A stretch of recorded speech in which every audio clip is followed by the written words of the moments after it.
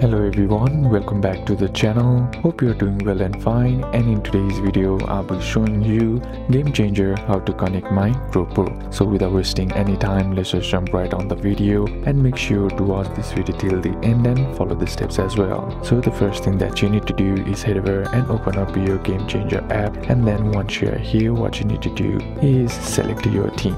Now, once you have selected your team, what you need to do is tap on the schedule option right here and then you find an option that says add event, tap on that as well. Now here, what you need to do is fill out the given information, then if prompted, grant GameChanger permission to access your device camera and microphone. In the previous screen, tap external camera at the top, then set your desired audience settings. Then tap continue to external camera setup, then copy the RTMP URL provided by GameChanger. And lastly, configure your GoPro for streaming. Open the GoPro Quick app on your mobile device and connect to your GoPro camera.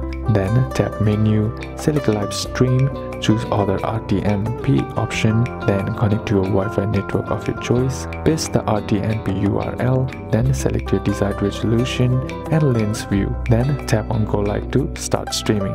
These are a couple of steps that you can apply and that's it for today's video guys. Hope this video was useful to you, leave a like if it did, comment down below what the next video should be on, consider subbing to the channel. Thank you for watching, bye bye.